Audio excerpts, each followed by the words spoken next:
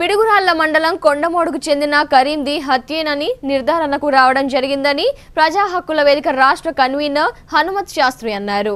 సోమవారం హనుమత్ శాస్త్రి పల్నాడు న్యూస్తో మాట్లాడారు. కరీం కుటుంబ సభ్యులు స్థానికులను సంబంధిత అధికారులను కలిసి సమాచారాన్ని పరిశీలించి వచ్చిన ఆధారాలతో కరీంది హత్యేనని నిర్ధారించడం జరిగిందని ఆయన పేర్కొన్నారు.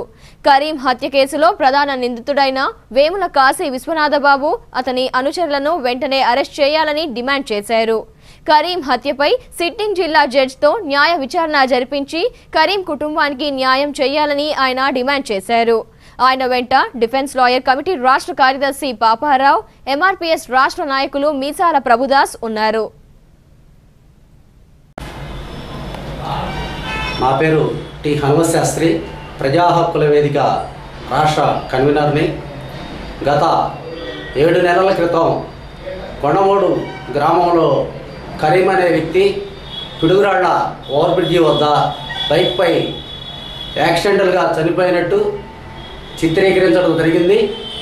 అతని మరణంపై అనుమానంతో భార్య షైద్ షహీనా పిడుగురాళ్ళ సిఐ సుబ్బారావు గారికి ఫిర్యాదు చేసిన గత ఆరు నెలల నుండి పోలీస్ స్టేషన్ నుండి తిప్పించుకుంటూ ఆ హత్యపై ఎటువంటి కేసు నమోదు చేయకుండా ఆ అమ్మాయిని ప్రలోభపెడుతూ భయపెడుతూ ఆ కేసును నిర్వీర్యం చేసే ప్రయత్నంలో సుబ్బారావు గారి పాత్ర ప్రముఖమైనది. ఈ కేసులో వేముల విశ్వనాథం అతని అనుచరులు ఉన్నారనే అనుమానాన్ని వ్యక్తం చేసిన వారిపై ఎటువంటి విచారణ కానీ కేసు నమోదు చేయడం కానీ చేయకపోవడం వలన ప్రజా సంఘాల ఒత్తిడి జిల్లా పోలీసు ఉన్నతాధికారుల యొక్క స్పందన వలన ఇరవై ఆరవ తేదీన ఆ యొక్క బాడీని పోస్ట్ మార్టం చేయడం జరిగింది.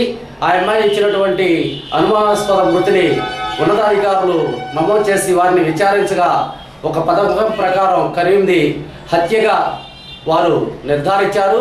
ఈ కేసులో ఉన్నటువంటి వారిపై హత్యా ప్రయత్నం హత్యను రూపుమాపడం వంటి వంటి కేసులను నమోదు చేశారు. సిఐ సుబ్బారావు గారు ఈ కేసులో ప్రముఖ పాత్ర వహించి ఉన్నందువలన అతనిపై కూడా కేసు నమోదు చేసి అతన్ని వెంటనే సర్వీస్ నుండి రిమూవ్ చేసి అరెస్ట్ చేయాలని ప్రజా సంఘాలుగా మేము డిమాండ్ చేస్తున్నాం.